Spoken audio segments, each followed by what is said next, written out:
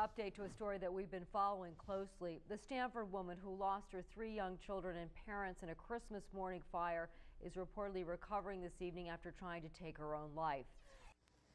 As you can see here behind me, there's absolutely nothing left of the home where the fire happened. Down here, there's a small memorial with the three little girls' initials symbolizing the grief Madonna Badger still feels as well as the entire community.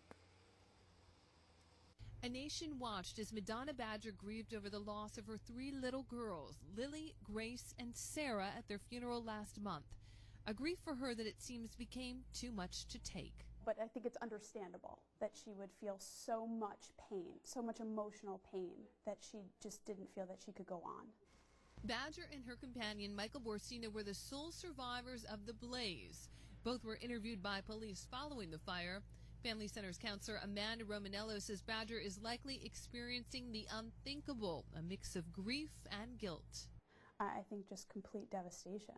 And, and how am I going to go on now? How am I going to live now knowing that my parents and my children didn't survive this fire and I did?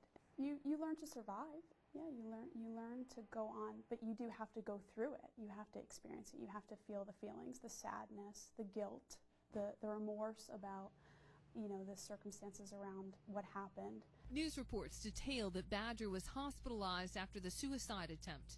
On a Facebook page dedicated to she and her family, Badger today released a statement saying, I'm in a safe place trying to find healing and God's grace. Love, Madonna.